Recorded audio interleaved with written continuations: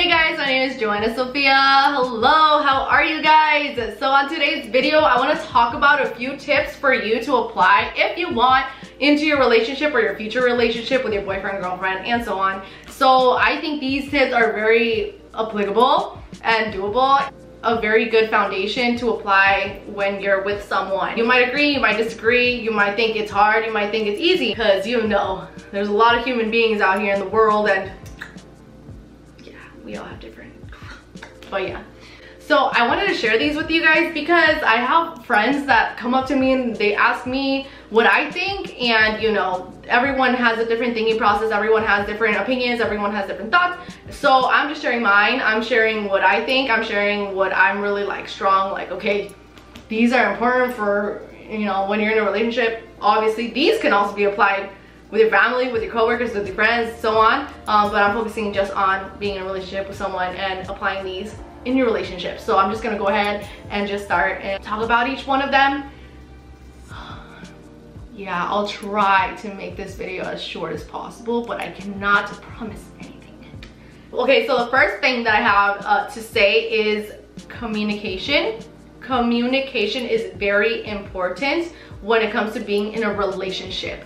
Because if you don't have that communication with that other person then there could be butting heads or misunderstandings. So when you're talking if something's going on let's say he, your boyfriend or your girlfriend you know said something that upset you or made you sad or made you frustrated or angry you need to tell them and you need to explain to them. I'm not saying go yell at them. I'm not saying go fight with them. I'm not saying none of that stuff. I'm saying just communicate and tell them, okay, I need to talk to you. There's something that you just said to me that I did not like and this is why. Or there's something that, you know, you weren't there for me or you didn't do this or you did do this. You need to talk to them and communicate with them because a lot of the time, sometimes they don't even know that you're you're feeling these things these emotions. But sometimes they do. I know, like sometimes they might know and be like, oh yeah, she's upset. Um, but they don't bother to ask or whatnot. But still tell them because sometimes they don't get it and you need to explain to them for them to understand and get it. And the same goes for the other way around. You want them to communicate with you. They should communicate with you because then a lot of the times there's miscommunication, misunderstandings, and you don't want that in your relationship. You want to be on the same page. And obviously it's impossible to always be on the same page, but yeah, you, you, can put in that effort to try to be as close to it as possible. It's so important. Tell them that you're sad. Tell them that you're angry. Tell them why. Explain. But do it in a, in a manner that's not going to break out into a complete argument that you're going to fight or yell at each other. Just do it in a way that, you know, you guys can both sit down and just tell them like, yeah, you made me really sad and this is why you made me really sad. And you know, I don't, I don't know how to take on the next step because you keep doing it. And then let, let's say it's something like that, then they need to be like, oh, snaps it. Ah, okay, this person really, it really upsets them when I'm doing this constantly. Okay, I'm not saying change yourself, don't change yourself, but communicate to understand one, one another because sometimes maybe you, you, they call you something you really don't like it and then they're like, oh, okay, sorry, I'll, I won't call you that anymore, I'm so sorry. But communication is super important. Another tip that I have is to listen listen to them. So let's say there is communication happening and that person is talking to you. You need to listen to them and you need to tell them, you need to hear them out. Like don't just like listen be like, let them talk. Okay. No, no, no. Like you need to literally hear them. You need to understand, try to understand their point of view, try to understand why they are feeling that emotion, and then and then acknowledge, acknowledge and be like, you know what, I heard you, I know what you said, and I put myself in your shoes and how you're taking the situation and I can see it. I'm so sorry or you know whatever the situation is on how to, how to answer it like tell them that you're there for them. Tell them okay, you know, things will get better or whatever, you know, every situation is different, every story is different. But yes, communicate, listen, like hear them out, you know what I mean? Um, acknowledge, um, try to put yourself on their shoes, see their point of view. Um, okay, the next tip I have is don't ignore a situation that needs to be acknowledged so if you guys are going through something, if you guys are um, if something happened to you and you need to express it to them, they, don't ignore the situation. You need to acknowledge the situation. So let's say you guys got in an argument, not an argument, but let's say something upset you. Don't just ignore it and be like, you know what, I'm gonna get over it and and that'll be that. Or the other way around that they get upset at you, but then they just ignore it and that's that. I don't I don't want that. You know why? Because then they'll start piling up all those things that they're ignoring to a point where they're gonna explode on you, you know? So you wanna take things on like firsthand when it happens. So for instance, like if you have homework, right? And you ignore, you're like, I'm not gonna do this. I'm just gonna, I'm gonna do it later. And then I'm like, I don't wanna deal with it.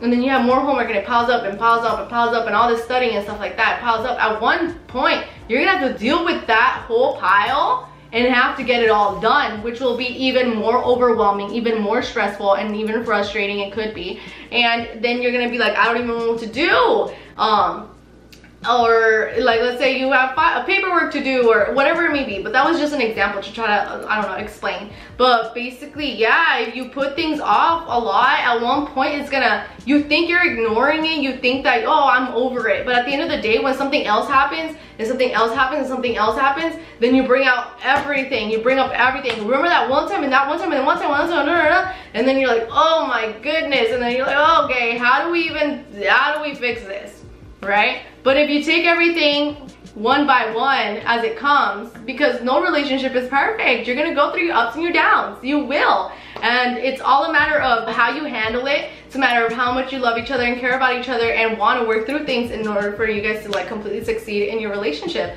So there's a situation. Okay, this is a bump. This is a situation.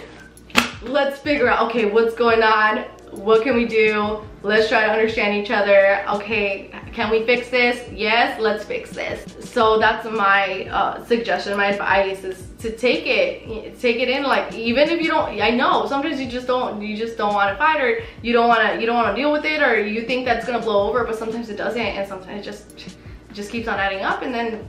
Mm, then you create something that's really hard to repair when it might have been easier to repair one by one than whole mountain. But yeah.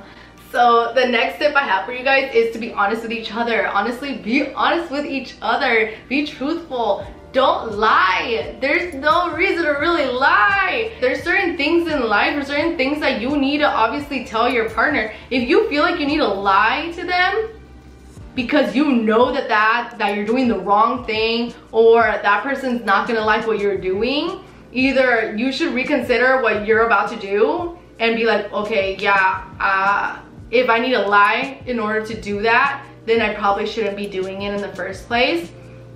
And you need to reconsider if there's, if you continuously keep on lying and lying and lying to your relationship, like what kind of, is that really a real relationship that you're having? Because you're literally lying to the person that you love and care about. You know what I mean? So don't do it. I just, no, I just don't know. I, uh-uh, just uh-uh, don't do it.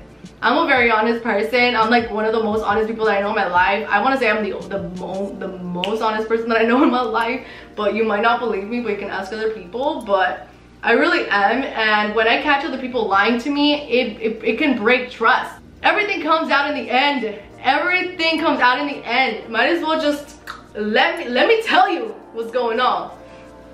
Cause you mm -mm, just don't lie. For me, it's just a big thing. Because if you lie to me, then you break my trust. And once you break my trust, it's it's kind of hard.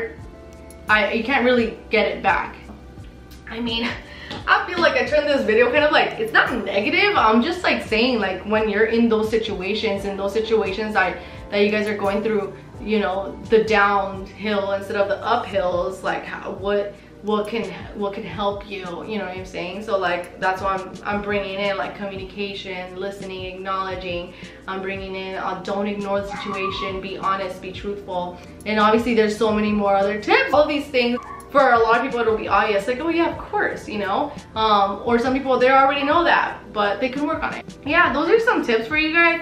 In order to apply on your relationships i hope this is very helpful for you guys. You know, maybe if you needed that sign to be more communicative with your loved one or be more honest or um, you know, like be able to really listen and such, or you're you want you're gonna be in a relationship soon, or you're single now, but you will be in a relationship at one point, and you want to be the best boyfriend or girlfriend you can be. I feel like these are very great things to apply within yourself, and also share it with your spouse, share it with share it with your loved one if they can, you know, take on one of these tips. But yeah. Well, I hope you guys enjoyed this video. If it was helpful, if you took anything away, if you agreed with anything, give it a thumbs up. I know I can't please everyone, and, you know, and I know that everyone has their own opinions and everything like that, but this is just my own. Um, hopefully you like this video, and I'll see you guys on my next one. Okay, bye guys.